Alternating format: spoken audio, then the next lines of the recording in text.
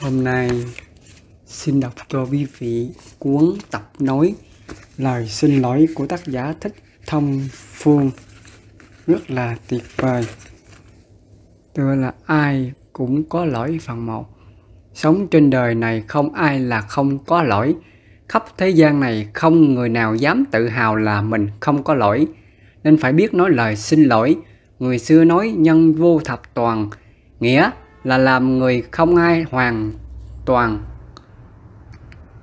mà không hoàn toàn, tức là có lỗi, có sai sót. Hầu hết mọi người còn sống trong mê, trong cái tương đối, cho nên không thể nào tránh khỏi lỗi lầm. Nếu người hoàn toàn không có lỗi, chắc là hiền thánh rồi. Còn là phàm nhân thì ai cũng có lỗi, có sai sót đâu thể tự hào là mình không có lỗi. Chính cái tâm tự hào là lỗi rồi. Có ông cừ bá ngọc năm 20 tuổi. Ông đã biết kiểm lại mình và biết lỗi để tặng sửa sai sót. Khi qua tới năm 21 tuổi, kiểm lại thì không, thì ông thấy lỗi cũng chưa hết. Rồi qua năm 22 tuổi, nhìn lại năm 21 tuổi, thấy cũng vẫn còn có sai sót. Như vậy, cứ mỗi năm ông tự kiểm lại tự sửa đổi để đến năm 50 tuổi vẫn còn nhận ra lỗi lầm của năm 49 tuổi. Thế là phải sửa suốt đời chứ không phải sửa một năm hay hai năm là đủ. Câu chuyện trên là bài học kinh nghiệm giúp chúng ta bắt chước tập nhìn, kiểm lại một năm qua để sửa lỗi và chuẩn bị cho năm tới không còn sai sót. Nhờ vậy chúng ta dẹp bớt tâm tự hào và thường tự kiểm tra lại mình. Do đó, tất cả chúng ta đều phải biết rằng, nhất là người trường trai giữ giới thì thiền định, niệm phật tinh tấn, để rồi thanh lọc bản thể nhập thất tu thiền luôn luôn, để rồi thấy được cái tánh hư tật xấu. Càng tu, càng thấy tánh hư tật xấu từ nhỏ tới lớn, từ vô lượng kiếp trước tới kiếp này, luôn luôn thấy mình ngu như vậy mới biết hạ mình học hỏi để mà tiến, luôn luôn thấy được thất tình lục dục, cống cao ngạo mạn, ích kỷ, a vua nịnh nót sợ sệt dâm dục. Bất trung, bất hiếu, bất nghĩa, bất nhân, bất tính, tất cả những thứ đấy từ vô lượng kiếp trước đến kiếp này, chúng ta đều ít nhiều cũng đều có cả. Do đó mà ai mà ngồi thiền, răng cắn lại, lưỡi co lên, ngậm miệng, niệm phật trên đỉnh đầu, tức là thiên môn đó, hoặc là niệm phật, qua tám thức để hai mở, cho tâm, cho tánh, cho ngũ tạng được thông, tất cả được thanh nhẹ, khứ trượt lưu thanh. Lúc đó ta mới thấy được, tự mình thấy được chính mình sai mà sửa. Thấy được mình sai chứ không có ai sai, tất cả đều do ta sai. Tội hồn bị đọa tưởng thanh cao, trí khôn một chút, hồn lao sao. Ngạo mạn kinh bỉ ta là nhất không tu, không sửa địa ngục vào. Phần thứ hai, tựa không cố chấp, tự mãn, tự cao, tự đại. Nếu không biết tự kiểm tra lại mình, thì đó là một thiếu sót. Lớn là thiếu tu, bởi vì phàm nhân thì phải còn có sai sót, mà có sai, có lỗi thì phải sửa, phải thường tự kiểm tra lại mình để thấy được lỗi, để có tâm khiêm tốn, vừa là tự sửa, vừa loại bỏ được tâm tự phụ. Tự phụ là luôn luôn cho mình không có lỗi, luôn luôn đúng. Lúc nào cũng hay, nên không chịu nghe lời khuyên của ai hết. Từ tự phụ dần đưa đến tự cao tự đại, mà khi đã thành tự cao tự đại thì sao? Hòa thượng tiên hóa giải thích theo kiểu chiết tự chữ hán chữ tự đi với chữ đại thành chữ xú, nghĩa là hôi thối. Vậy tự đại là hôi thối. Khi biết được những ý nghĩa này rồi, thì mỗi người phải khéo tự kiểm tra lại mình để khiêm tốn trở lại. Một khi đã quen tự cao tự đại thì cho là mình hay, là cao, nên không chịu nhận lỗi. Có khi thà chết cũng không nhận lỗi, đó là nguy hiểm, là lỗi lầm rất lớn thời xuân thu chiến quốc có câu chuyện về một chàng trai tính tình cố chấp, cũng là tự phụ Hôm đó anh ta ngồi xe ngựa để đi phương Bắc. Giữa đường gặp người bạn già lớn tuổi, mới hỏi, anh đi đâu vậy? Anh đáp, tôi muốn đi đến nước sở. Ông bạn mới hỏi, anh đến nước sở à? Nghe nói nước sở ở phương Nam. Sao anh lại đi phương Bắc? Chắc là anh đi ngược đường rồi. Chắc là anh đi ngược đường rồi. Lúc ấy, nếu anh ta là người khéo biết lắng nghe thì kiểm lại. Thấy đi sai đường là chuyển hướng. Đằng này, anh ta không chịu nhận sai mà còn biện bác trở lại nói, không sao, ngựa của tôi rất giỏi, anh không phải lo. Ông bạn nghe vậy nói, ngựa dù giỏi mà đi lầm đường. Thì càng đi càng xa, nhưng anh vẫn khăng khăng không chịu nghe. Anh nói bác chẳng cần phí tâm như vậy. Tôi có đủ lộ phí để đi đường. Ông bạn già mới nói, tiền đi đường của anh dù có nhiều, nhưng phương hướng đã không đúng rồi thì anh làm sao đến được nước sở? Dù có tiền đầy túi, đến như vậy mà anh ta vẫn cố chấp không nghe. Lại nói, cũng không hề gì, tôi có một người phần 4 tự trách mình trước khi trách người một yếu chỉ để sống tốt nữa là phải thường tự trách mình. Trước khi trách người, nghĩa là phải khéo tự trách mình trước rồi mới trách người sau. Chứ đừng có trách người trước khi trách mình. Thường thì người ta hay trách người khác trước khi trách mình. Chúng ta tu phật phải ngược lại, tự trách mình trước. Đúng, đó cũng là cách giải tỏa nhiều phiền não cho mình bởi vì cứ lo trách người mà không dám trách mình, cứ đổ lỗi cho người khác. Còn mình lúc nào cũng tốt nên dễ sinh phiền não bực bội, bất mãn cuối cùng, thấy ai cũng đáng trách hết, còn mình thì sao đây là một kinh nghiệm mỗi khi bị huynh đệ làm điều gì bất như ý cho mình thì phải tự xét tìm xem bản thân đã có khuyết điểm gì nên người mới đối xử như vậy. Thí dụ họ cư xử tệ, có vẻ khinh thường mình thì trước khi trách họ, chúng ta phải trách mình trước. Nghĩ lại chắc mình cũng tu cũng chỗ khuyết khiếp gì đó hay đức hạnh của mình còn kém nên mới như vậy. Nếu như đức của mình cao thì họ đâu đối xử xấu. Quán xét kỹ thì sẽ thấy nhẹ nhàng, bớt phiền trách người khác tự kiểm mình để tu thêm chút nữa, vun bồi đức hạnh mình thêm chút nữa. Được vậy thì tâm nhẹ nhàng và tu tiến thêm ngược lại.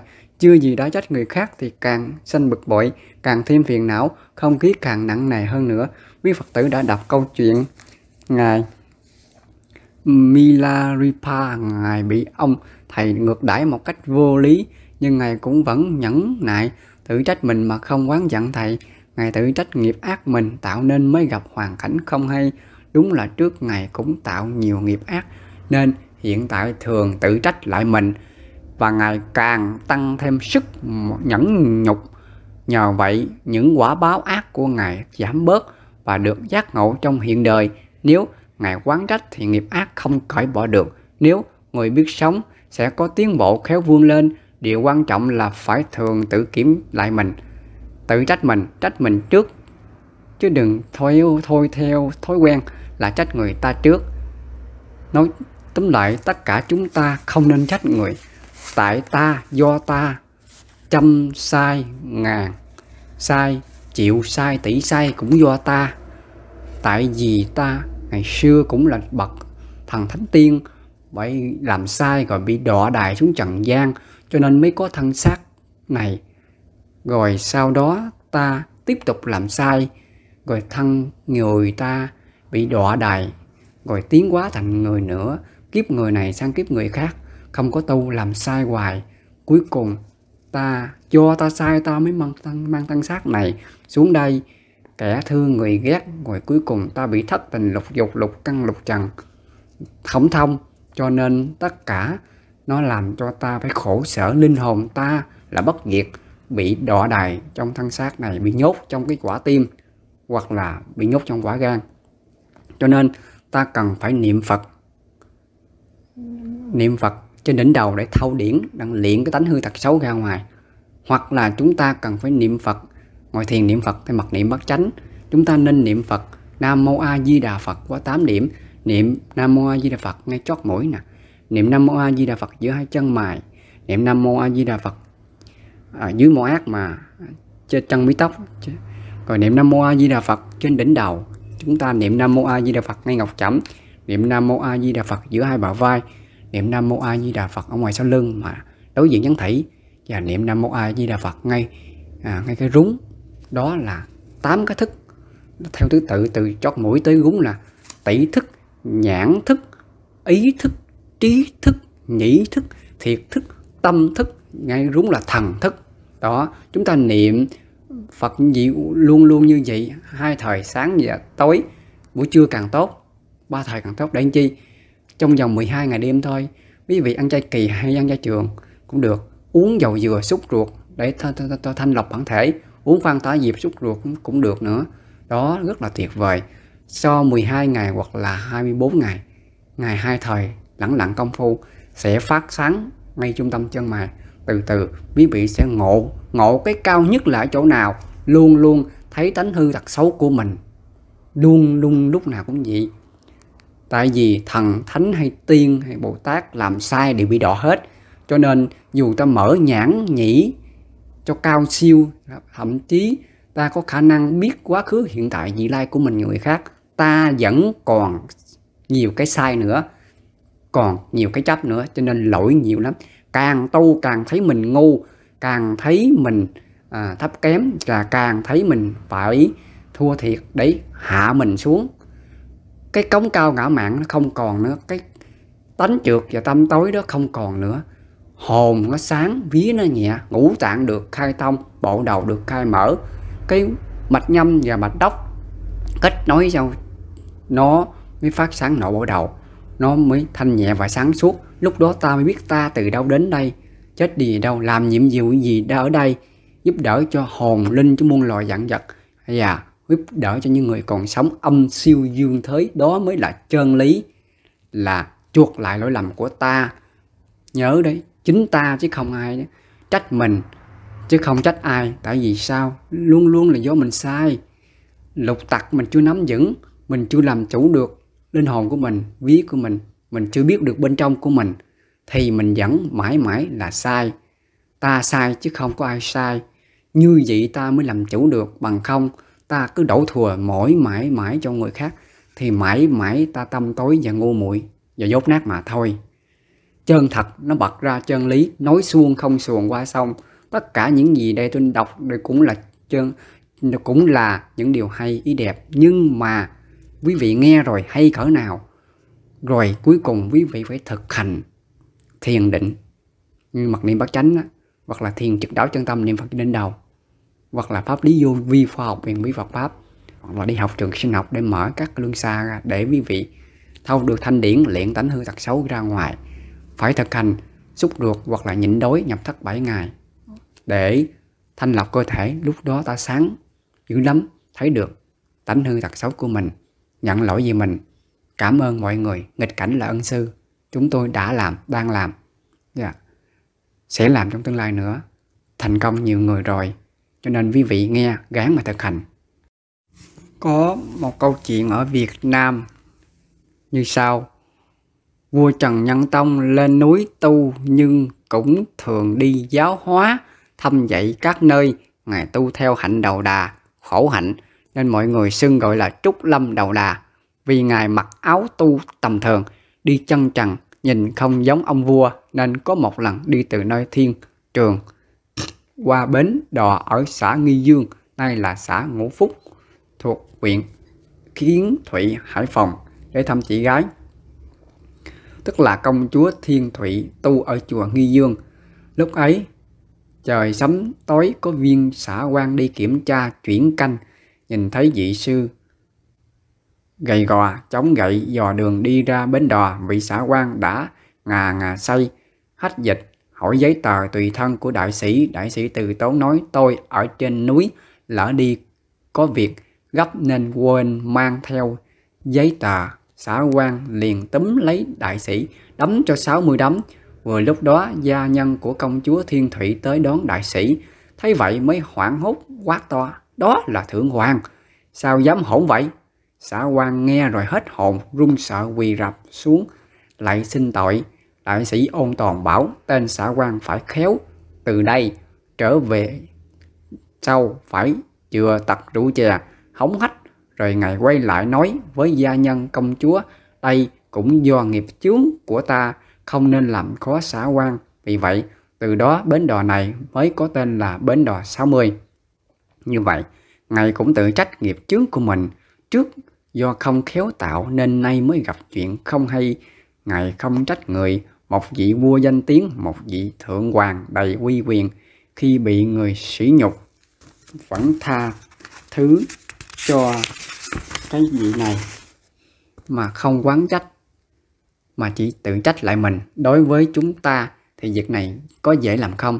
Đó là những bài học sống là tinh thần học đạo của người xưa.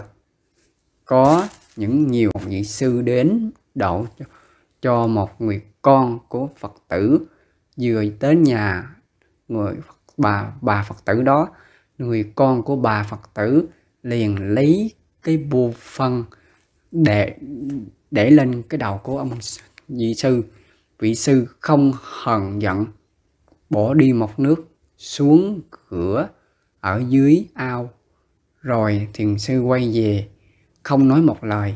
Qua vài bữa sau, cái người con đó đi đến ông sư, rồi đảnh lễ quỳ lại xin tha thứ và chấp nhận quy y theo ông sư. Đó là cái tính cách cao đẹp tuyệt vời của vị sư đó, tình yêu thương và tha thứ của vị sư đó rất là cao, cho nên mới độ được. Cái hành động của sư không lời gì cả, không trách mắng, không giận hờn, mà độ được cho cái người cống cao ngạo mạn, cái người khỏi phải nói là ghê gớm, cuối cùng cũng độ được một hành động không nói một tình yêu thương và tha thứ, âm thầm, không trách mắng. Đó thì người đó đã nhận lỗi và sư đã tha thứ cho nên đạo được. Rất là tuyệt vời. Có bài thơ là yêu thương tha thứ dễ thuận hòa lỗi người ta nhận dẫu phong ba, sai người ta sửa chớ nên trách. Hạ mình nhẫn nhịn học chữ hòa hoặc có bài thơ là à, đạo pháp thường hay dung với hòa xét người cho tộc xét thân ta. Nếu người rõ phận vui lòng thứ ta thứ được người người thứ ta. Bài đó trong trong bài vô thường gì đó. Chương thứ năm tóm kết. Chúng ta học nhiều kinh luận nhưng chỉ biết nhớ chữ nghĩa mà không ứng dụng ý kinh rồi chuyển thành bài học thực tế trong cuộc sống. Thật là thiếu sót quý vị nghe giảng chỉ một tiếng đồng hồ là xong, nhưng thực hành thì làm cả đời cũng không xong. Ngàn kiếp cũng chưa chắc làm được. Chỉ cần hai tiếng xin lỗi, quý vị học cả đời cũng chưa hết. Không phải đơn giản, đừng tự hào nói, tôi học thuộc hết bộ kinh này, bộ kinh kia. Muốn học lẽ thật, trước hết chúng ta phải tập để quen nói lời xin lỗi. Tại sao phải thực tập? Bởi vì khi nghe, thấy dễ nhưng làm thì khó, nên phải tập, tức là phải thực hành, nói suông không xuồng qua sông. Chân thật bật ra chân lý, chúng ta luôn luôn nói lại sự thật. Không nên che giấu, sai thì phải nhận.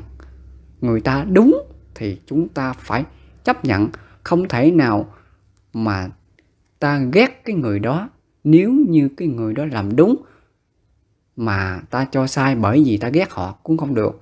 Hoặc là cái người đó làm sai vì ta thương họ, cho nên ta bao che người ta cho nó đúng, nó cũng không được. Đó là ta chấp, ta ta sai, cho nên ta phải sửa mới được.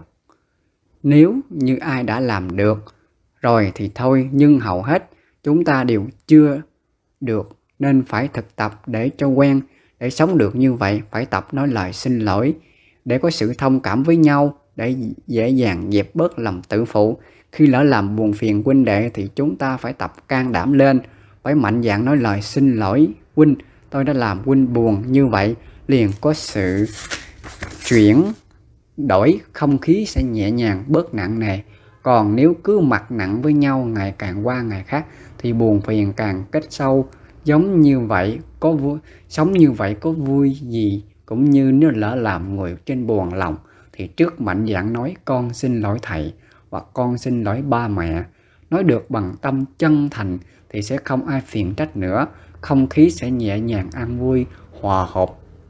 Phải tập giống như gia đình họ trương, cả nhà ai cũng là người xấu hết thì không khí an vui, còn ai cũng tốt hết thì cãi vã nhau hoài.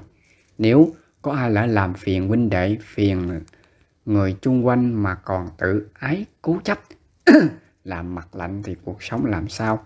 Có sự thông cảm, có nhiều trường hợp hai xe đụng nhau, không ai chịu nhận lỗi, người này đổ qua người kia, người kia đổ qua người nọ, thành ra cãi nhau. Nếu lỡ chạm nhau, chỉ cần bước xuống xe nói lời xin lỗi, tôi lỡ chạm anh thì chắc là sự việc nhẹ nhàng.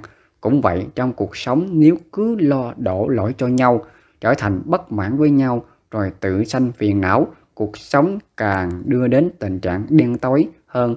Nguyên do cũng chỉ vì cố chấp mà ra, cho nên người học đạo phải khéo tự kiểm tra và phải biết nói được lời xin lỗi, có miệng là nói được. Buông bớt cái tôi này một chút thôi thì sẽ sống gần với nhau, thương nhau hơn, yêu thương, tha thứ cho nhau hơn. Cả các đạo trên thế gian này đều một gốc mà ra là gốc ở Thượng Đế mà ra, tức là đạo nào cũng là của Thượng Đế ban. Đạo nào cũng chứa trong yêu thương và tha thứ. Đó là chân lý đời đời bất diệt. Trong muôn loài dạng vật đều có cái yêu thương và tha thứ trong đó cả. Hãy sẵn sàng xin lỗi tất cả và yêu thương tất cả. Hạ mình học hỏi nhẫn hòa, công bình bác ái dị tha. Phải công bằng, phải chân thật, phải hiên ngang, phải bi trí dũng. Đừng có nịnh hót mà tạo lỗi cho chính mình. Có lỗi mà không chịu nhận, đó là cái phàm ngã, lục tặc nó lôi cuốn. Thường thường cái lỗi của ta ưa biện luận, tìm mọi lý lẽ để biện luận binh vực cho chính mình và binh người khác, mặc dù người khác có lỗi, nhất là người thân của ta, dù sai cỡ nào ta cũng binh họ, ta sai cỡ nào ta cũng binh ta.